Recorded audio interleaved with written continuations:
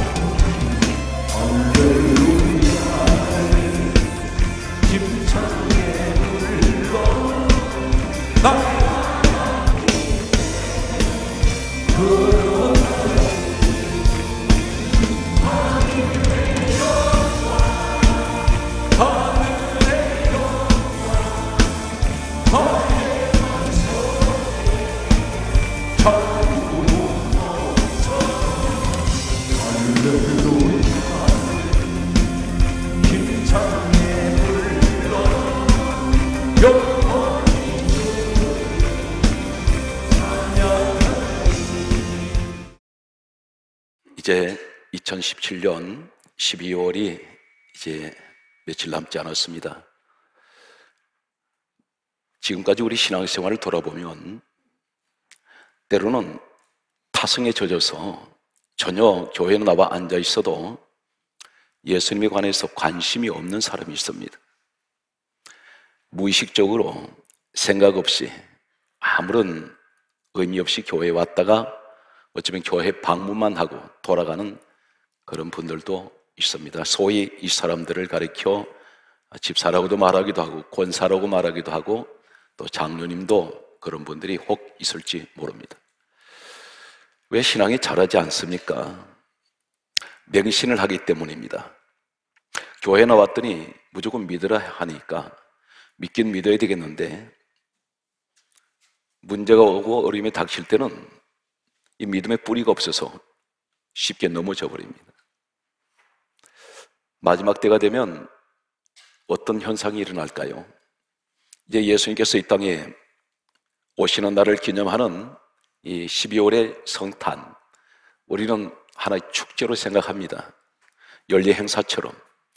그런데 이 시대가 어떻습니까? 마치 2000년 전에 예수님이 이 땅에 오실 때 모습과 너무나 흡사한 그런 영적 모습을 발견하게 됩니다. 예수님께서 이 땅에 오셨을 때 모든 사람들은 메시아가 오실 것을 기다리고 있었습니다. 그런데 막상 메시아 되시는 예수 그리스도께서 오셨을 때에 아무도 주님을 반겨주지 않았습니다. 동방에서 온 박사 몇 사람 그리고 양치는 목자들 외에 요셉이라는 예수님의 육신의 아버지 그리고 마리아 그리고 가축들이 있는 구유에 이 모습이 전부였습니다. 귀족들이 있습니다. 왕도 있었습니다. 지금같이 부자도 있었을 것입니다. 권력가도 있었을 것입니다. 많은 학자도 있었습니다. 그러나 그들은 머리로만 메시아가 오실 것을 알고만 있고 걸어갈 수 있는 발이 없고 손을 내밀 수 있는 사랑의 손이 없었습니다. 이 시대가 어떻습니까? 성도들이 점점 교회를 등지고 있습니다. 예수님과 점점 멀어지고 있다는 것입니다. 막상 성탄을 맞이하면서 내가 과연 마음에서 우러나오는 예수님을 영접하고 싶은 그리고 그분이 이 땅에 오신 것은 나를 위해서 오셨고 그분이 십자가에 죽으신 것은 나의 죄 때문에 죽으셨다니 사실을 고백하면서 한 번쯤은 성탄을 맞이하면서 감동, 은혜의 눈물이라도 흘려야 되는데 마음은 냉랭하기만 합니다. 오늘 이 말씀을 들으면서 감성적으로 듣지 말고 감정적으로 듣지 마십시오. 논리적으로, 체계적으로, 이성적으로 냉정하게 들으시기 바랍니다. 단순한 성경 속의 이야기가 아닙니다. 우주 공학에 연구한 그 자료를 시간 관계 때문에 요약을 해서 성경 말씀과 여러분에게 함께 이 말씀을 전하는 이 시간은 하나님은 천지 우주만을 창조하셨다는 사실을 우리는 실감해야 됩니다. 진화론을 학생들에게 가르치고 있습니다. 이 진화론의 모순은 가장 큰 모순점이 어떤 것일까요? 과정과 결론은 이야기를 하는데 원인에 관해서는 말하지 않습니다. 대단히 모순입니다. 그 원인이 무엇인가요? 언제, 누가, 무엇을, 어떻게, 왜, 누가 시작을 했는지 말하지 않습니다. 시작이 없습니다. 그냥 진화만 되었다고 말하고 있습니다. 오늘 저는 우주에 관해서 잠시 생각해 보고자 오늘 이 말씀을 전합니다. 우리가 잘 알고 있다시피 우주 공간에는 수많은 해와 달을 비롯한 셀 수 없는 무수한 별들이 우주 공간에 또 있습니다. 그런데 어쩌면 그렇게 조화롭게 질서 있게 수천 년이 흘러가고 또 흘러가도 변함없이 한 번도 그 행성끼리는 대충돌을 하지 않습니다. 어떤 눈에 보이지 않는 힘에 의해서 우주는 움직이고 있다는 것입니다.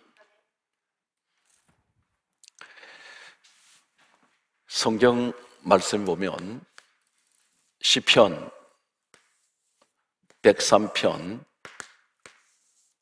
19절에 보면 하나님께서 이렇게 하나님에 관하여 말씀하고 있습니다. 만유를 통치하시되다. 그렇게 말씀합니다. 만유를 통치하시는도다. 우리 하나님은 만유를 통치하고 계신다는 것입니다. 다스리신다는 것입니다. 이 만유라는 원어의 의미는 다음과 같습니다. 우주 만물에는 이 우주 공간에는 보이는 세계가 있고 보이지 않는 세계가 있습니다. 그런데 보이는 세계와 보이지 않는 세계 모든 우주 만물 안에 모든 것을 하나님께서 다스리시고 통치하신다는 것을 의미하는 것이 만유입니다. 하나님께서 창세기 1장 1절에 성경이 시작되는 첫 시작이 태초에 하나님이 천지를 창조하시니라 이렇게 말씀합니다. 창조하신 하나님, 우주 만물은 하나님이 직접 지으셨다는 것입니다. 이것이 성경 전체 첫 번째 하나님께서 선포하는 내용입니다. 창세기 1장 14절에서 19절 말씀에는 하나님께서 넷째 날 해와 달을 지으셨습니다. 성경은 해와 달을 하나님께서 지으셨고 별도 지으셨다고 말씀합니다. 우주 공간에 있습니다. 떠 있습니다. 누가 줄을 매달아 놓고 있는 것도 아닙니다. 그들은 일정한 속도로 또 정확하게 질서를 유지하면서 움직이고 있습니다. 저는 오늘 이 시간에 우주 공학에 관한 여러 가지 자료를 종합을 해서 몇 가지 요약을 해서 해와 달과 별, 우주 공간에 있는 이 행성들에 대해서 성경과 함께 대조해 보겠습니다. 태양이 있습니다. 이 태양이 있는데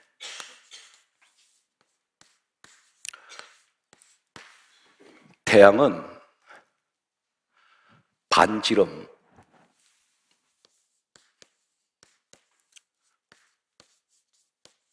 반지름이 그 길이가 어느 정도 있냐면 거리가 70만 킬로미터입니다. 지구의 100배가 되겠습니다. 태양은 반지름이 지구의 100배 이상이 되는 그러한 크기를 말합니다. 무게가 있습니다. 태양의 무게. 이 태양의 무게는 지구의 무게보다 33만 배 이상 무겁습니다.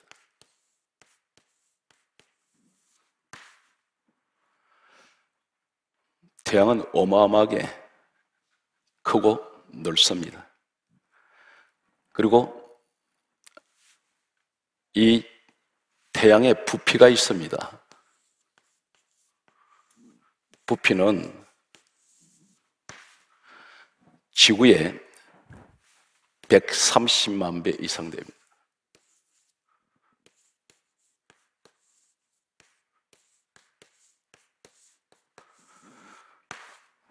크기가 지구의 130만 배 이상이면 지구 같은 이런 행성이 130만 개가 태양 안에 들어갈 수 있다는 것입니다. 그러한 계산이 나옵니다. 달이 있습니다. 우주인들이 달을 탐사를 했습니다.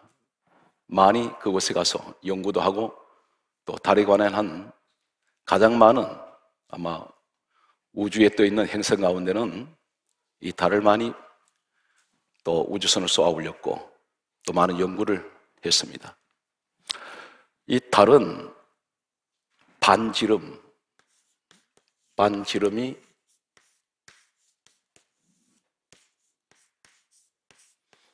얼마냐면 정확하게 1738km입니다. 그리고 이 지구에서 달까지 거리는 38만 킬로미터로 알려지고 있습니다.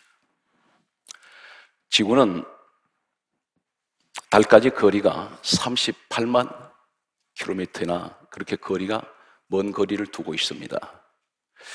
이 달은 낮에는 온도가 얼마나 올라가느냐면 낮 온도가 107도까지 올라갑니다. 밤에는 이 온도가 영하로 떨어지는데 몇 도까지 떨어지냐면 153도 영하로 떨어진다고 합니다. 오늘 여기서 제가 과학을 이야기하는 것은 단순한 우리가 과학 공부를 하는 것이 아니고 하나님께서 창조하지 아니하셨다면 이것이 진화가 될 리가 있나요? 하나님이 지으셨는데 이렇게 거대한 행성이 우주 공간에 떠 있다는 것입니다. 놀라운 사실입니다. 계속되는 내용을 살펴보겠습니다. 별이 있습니다. 이 별은 이 땅에서 우리가 하늘을 바라볼 때에 우리가 육안으로 시야에 들어오는 별은 약 6천 개 정도의 별을 우리가 관측할 수 있다고 합니다.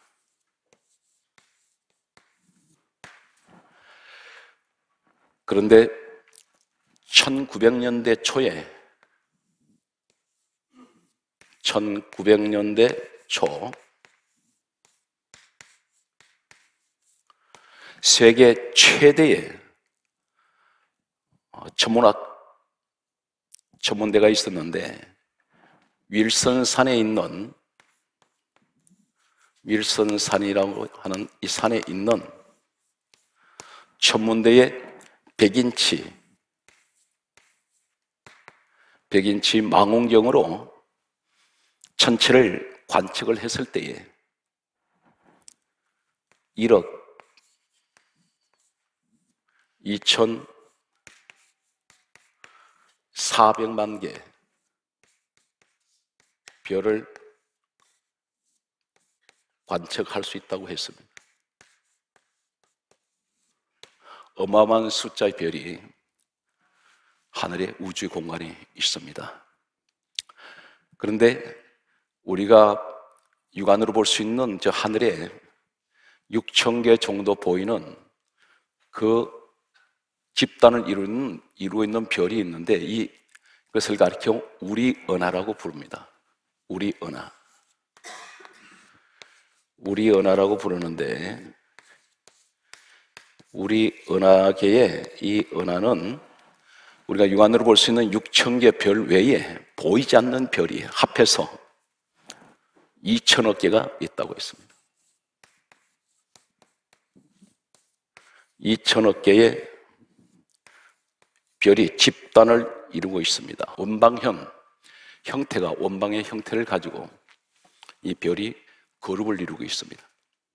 그런데 대단히 놀라운 것은 우주 공간이 얼마나 넓었냐면 우리 은하계에 이런 은하가 우주 공간에 2천억 개 별로 이루어진 이런 우리 은하계 같은 은하가 1천억 개가 있다고 했습니다. 어마어마한 숫자의 별이 있습니다.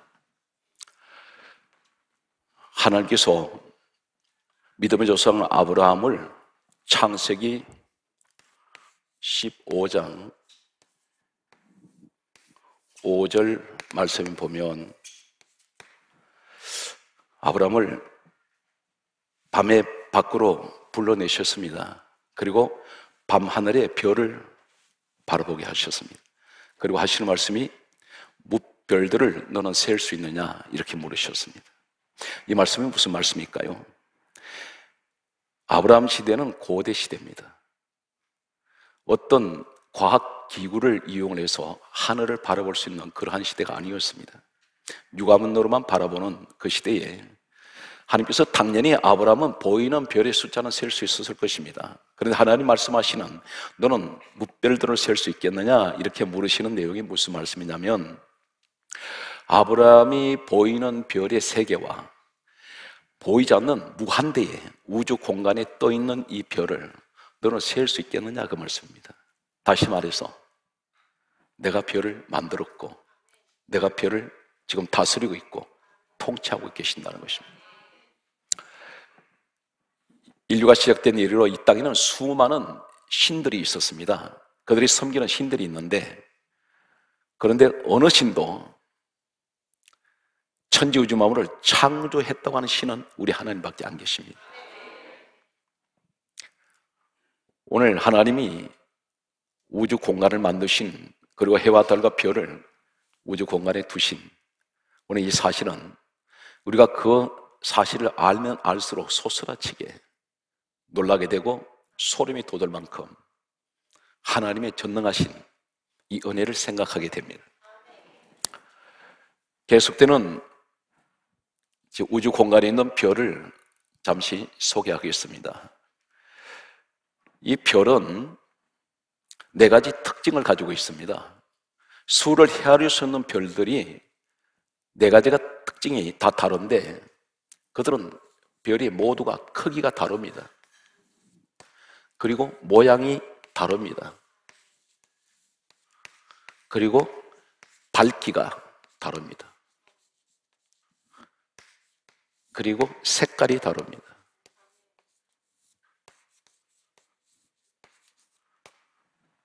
하나님은 위대한 예술가십니다. 초겨울날, 초저녁에 밖에 나가서 하늘을 바라보면 오리온 별을 볼 수 있습니다. 오리온 자라고 부르죠. 그런데 그 별 옆에, 오리온 별 옆에 큰 별이 하나 있습니다. 이 별이 어떤 별이냐면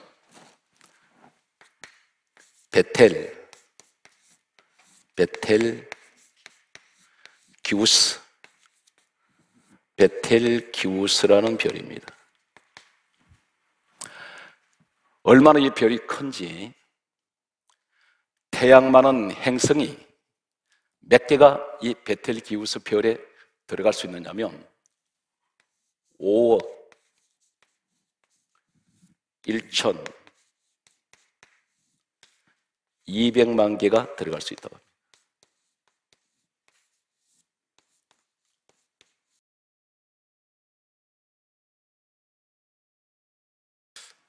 대단히 놀라운 사실 하나는 우주인들이 지구를 떠나서 우주 밖으로 나갔습니다. 대기권 밖으로 나가서 그들이 우주 공간을 여행을 했습니다.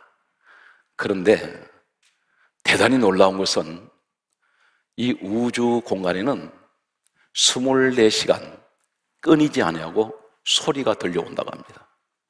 때로는 장엄한 소리가 들리고 너무너무 웅장을 해서 우주 공간이 흔들릴 정도로 그런 소리가 들려온다고 합니다. 그런데 어떤 때는 대단히 부드럽게 그리고 어떤 때는 대단히 강하게 소리가 들려오는데 때로는 느리게 때로는 빠른 그 템포로 소리가 들린다고 있습니다. 마치 어느 때를 들어오면 거대한 교향 악단들이 연주하는 소리 같이 들리기도 하고 또 때로는 아주 미성의 성악가가 대단히 천사와 같은 소리로 노래를 부르는 소리같이 들리기도 한다고 합니다. 무슨 소리일까요?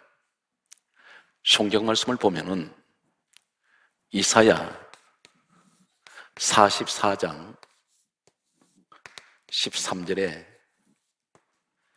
이 일을 여호와께서 행하셨으니 하늘아 노래를 부를지어다. 하나님을 찬양하는 소리입니다. 대단히 놀라운 일입니다. 근데 그 선율이 마치 어느 명 작곡가가 작곡한 같이 그렇게 아름다운 선율로 소리가 들린다고 합니다. 계시록 5장 13절 말씀 보면 성경은 이렇게 말씀하고 있습니다. 하늘 위에와 땅 위에, 땅 아래에, 바다 위에 모든 피조물들은 보좌에 앉으신 이와 어린 양에게 네 가지를 말씀합니다. 찬송과 종기와 영광과 권능을 세세토록 돌릴지어다. 세세토록이란 말은 쉬지 말고 계속해서 뭘 해요? 찬송을 부르는 우주 만물은 아름다운 거대한 교향악이 연주되는 그런 하나님께 올리는 찬송입니다. 때로는 바람 소리를 통해서도 우리는 노래 소리도 들릴 때가 있습니다. 새의 지저귀는 소리도 이 피조물들이 하나님을 찬양하는 소리도 들릴 수도 있습니다. 대단히 위대한 축복입니다. 하나님 아버지, 오늘 아멘 두 사람이 했는데 그들에게만 은혜가 폭포처럼 쏟아지게 하여 주옵소서.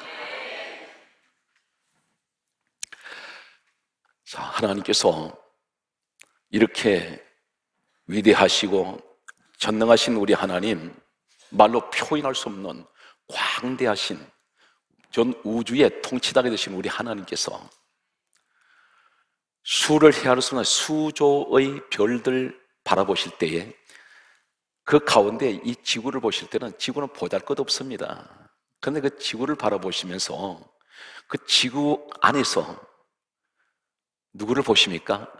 우주 밖에서 보면 나라는 존재는 먼지보다도 더 보이지 않는 존재입니다. 근데 하나님이 먼지 같기도 하고 벌레 같은 이런 인생을 보시고 하나님의 독생자 아들이 찾아오셨다는 것입니다. 기독교는 무슨 종교인지 아십니까? 신이 죄인을 찾아오셨다는 것입니다. 다른 종교는 인간이 신을 찾아가는 종교입니다. 어느 날 하나님이 나를 찾아오셨어요. 그럼 나를 예수를 믿게 했습니다. 누군가가 나에게 예수를 전해 주었습니다. 내 인생에 대반전이 일어났습니다. 오늘 그런데 성경은 무엇을 말씀합니까? 오늘 요한복음 3장 16절에 보면 성경은 이렇게 강조하고 있죠. 전 성경을 요약하는 한 말씀은 바로 요한복음 3장 16절입니다. 하나님이 세상을 이처럼 사랑하사 독생자를 주셨으니 이는 그를 믿는 자마다 멸망하지 아니하고 영생을 얻게 하려 하심이라 이렇게 말씀하셨습니다. 여러분들은 한글을 보게 되면 하나님이 우리를 이처럼 사랑하셨다. 그래서 독생자 예수님을 주셨다 말씀하시니까 다른 성경 말씀과 같이 별 감동이 없습니다. 그런데 원어는 그렇지가 않습니다. 어떤 말씀이 있을까요? 하나님이 세상을 이라는 이 세상 오늘 요한복음 3장 16절에 세상을 이처럼 사랑하셨다는 이 세상은 헬라어 보게 되면 코스모스입니다. 코스모스를 말씀하고 있습니다. 헬라어 세상은 코스모스를 말하는데 코스모스 무엇인가요? 전 우주를 의미하기도 하고 또 지구를 의미하기도 하고 온 인류를 의미하기도 합니다. 그 가운데 저와 여러분이 계십니다. 하나님이 세상을 그리고 이처럼이라는 말씀이 있습니다. 이처럼 이처럼이라는 말씀은 어떤 말씀일까요? 이처럼 사랑하사 도대체 얼마나 우리를 사랑하셨다는 말씀입니까? 이처럼 사랑했다는 이 말은 원어에는 따라서요 후토스 후토스란 말은 헤아릴 수 없는 무한한 끝없는 하나님의 사랑을 말합니다. 얼마나 우리를 사랑하시길래 온 우주의 주인 되시는 창조주 하나님께서 너무나 미약하고 날마다 주 안에서도 또 넘어지고 있는 우리에게 얼마나 사랑하시냐면 끝없이 끝없이 무한하게 헤아릴 수 없는 그 사랑으로 우리를 사랑하신다는 거예요. 이처럼 사랑하신다고 했습니다. 근데 이처럼 사랑이라는 이 단어는 또 무엇일까요? 사랑.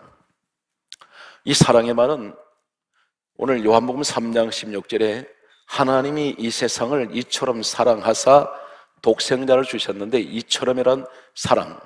이 사랑은 어떤 것이냐면 에카페센이라고 부릅니다.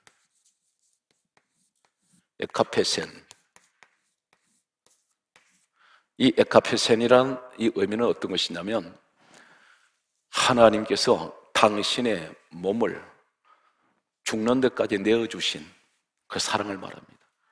그래서 이처럼 사랑하시다 이 말을 함축을 하면 온 우주의 주인 되시는 창조주 하나님께서 나 같은 인생을 사랑하시는데 무한하게 끝없이 계산할 수 없는 이 뜨거운 사랑을 주시는데 주님이 하나님 당신 몸까지 주시는 희생적인 이 사랑을 말합니다. 그런데 여기서 이 사랑은 에카페센이라는 이 사랑은 어디에 동사이냐면 아가페의 동사형입니다. 하나님께서 우리를 이렇게 사랑하십니다. 오늘 여러 가지 힘들고 어렵겠지만 우주 만물의 주인 되신 우리 하나님이 내 아버지가 되셨고 예수 그리스도를 말미암아 나는 천국의 백성이 되었고 나는 이제 하나님 혼자가 아닙니다. 수많은 사람들이 내 곁에서 머물다가 떠나간다 할지라도 내게는 영원에서 영원까지 계시는 나의 주님이 계시기 때문에 나는 결코 외롭지도 않고 고독하지도 않습니다. 성경 말씀 보게 되면 독생자를 주셨으니 이렇게 말씀하고 있습니다. 여기 주셨다 이 말씀이 무슨 말씀인가요? 주셨으니 주셨으니 이 말씀은 에도켄 따라서요 에도켄. 따라하십시오. 하나님의 가장 큰 선물. 그걸 주셨다는 거예요. 인류 역사에서 온 우주에서 가장 인간에게 주시는 선물 중에 최고의 선물이 뭔지 아십니까? 독생자 아들 예수 그리스도를 우리에게 보내셨다는 것입니다. 정말 그럴까요? 성경 말씀을 보게 되면 에베소서 2장 5절과 8절 말씀 보게 되면 에베소서 2장 5절은 이렇게 말씀하고 있습니다. 예수 그리스도를 믿음으로 예수 그리스도를 믿음으로 은혜로 구원을 받았다 그랬습니다. 예수 그리스도를 믿음으로 은혜를 구원받았습니다. 내 공로는 하나도 없습니다. 예수만 믿기만 하면 우린 죄사함 받고 천국 자녀 되고 오늘 하나님을 아버지로 부른다는 것입니다. 그런데 성경은 에베소서 2장 8절에 구원은 하나님의 선물이라 이렇게 말씀합니다. 구원이 누구인가요? 예수 이름이라 말은 구원입니다. 마태복음 1장 21절에 보게 되면 이름을 예수로 하라. 이는 자기 백성을 죄에서 구원하신다. 예수님은 구원입니다. 그래서 구원을 우리에게 선물로 주셨다는 겁니다. 얼마나 감사하고 또 감사합니까? 그러니까 우리는 하루하루 살아가기가 급급한데 그렇게 살다 보니 어느덧 이 땅을 떠날 때가 가까이 오고 있습니다. 우리는 한 번도 빠짐없이 다 지금 죽음과 가까이 가고 있습니다. 죽음과 멀어지는 분은 한 번도 없습니다.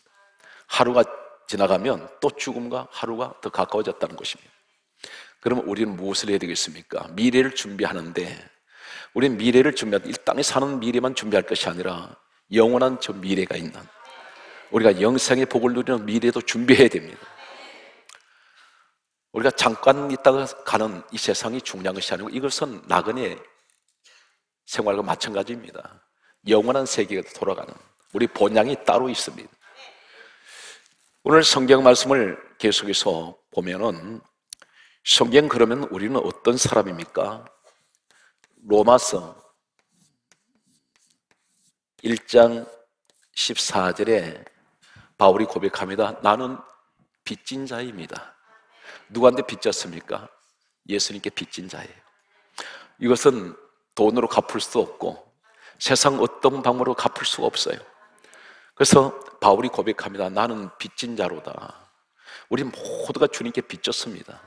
그런 그 빚을 갚으려면 어떻게 해야 우리 주님 은혜를 갚을 수가 있겠습니까? 그 은혜를 우리는 아무리 예를 쓰고 평생 다 갚아도 못 갚습니다. 그런데 우리 주님이 이렇게 말씀합니다. 한 가지 너는 내 일을 좀 해주어라. 그 일 해달라고 하시는 것이 마가복음 16장 15절에 말씀하고 있습니다.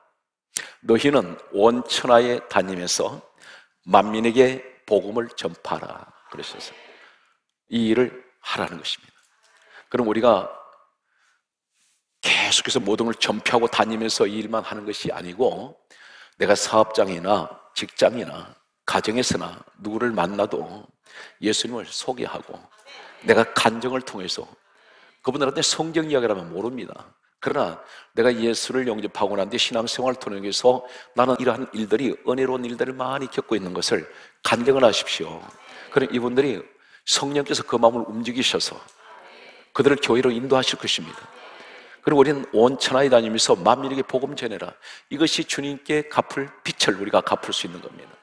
그렇다면 어느 정도의 심정으로 해야 될까요? 고린도전서 15장 31절에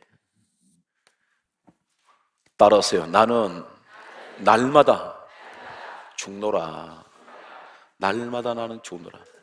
우리는 날마다 죽기를 각오하고 복음 전해야 돼요.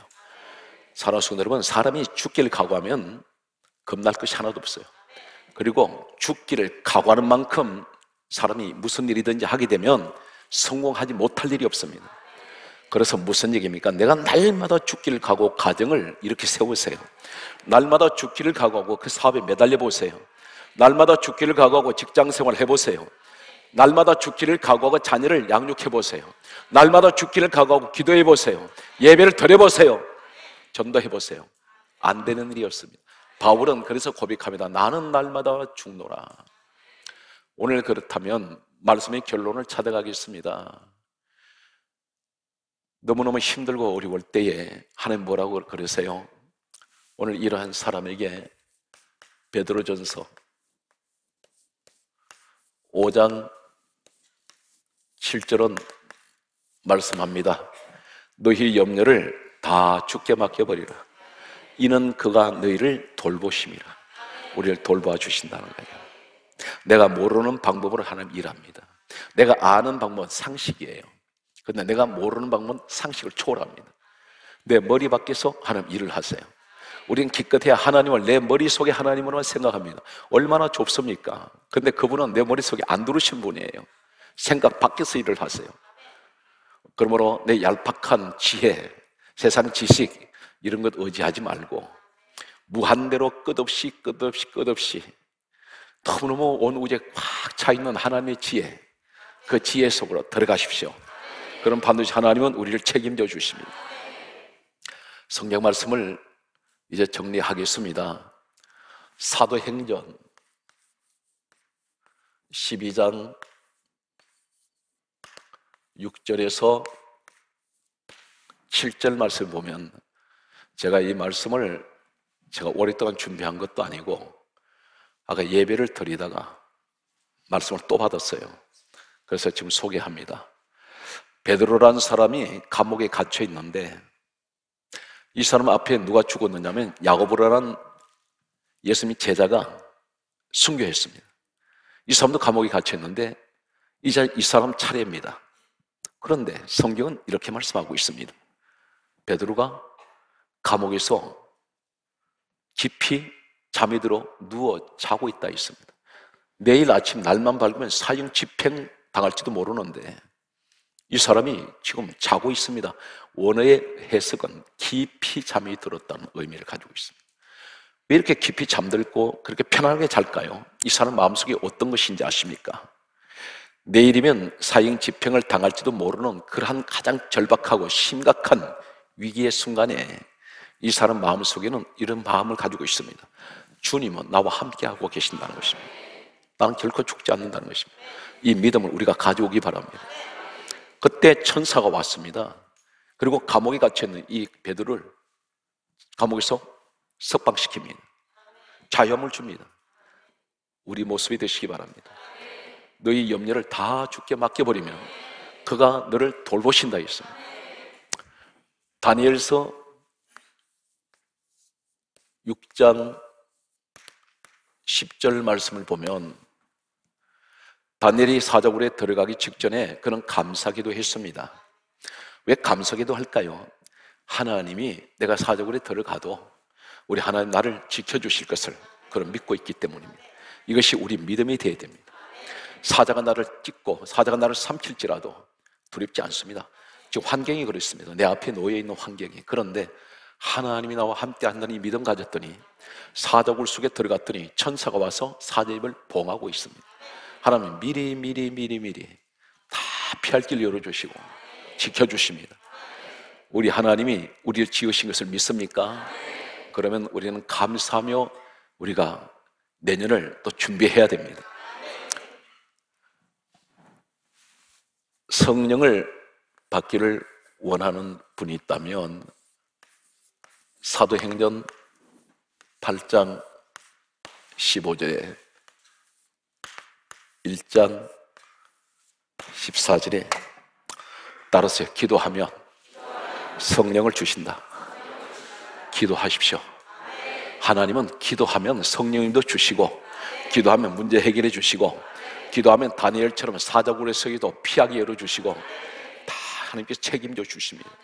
오늘 여러분의 축복의 주인공이 되시기를 주 예수 이름으로 축복합니다.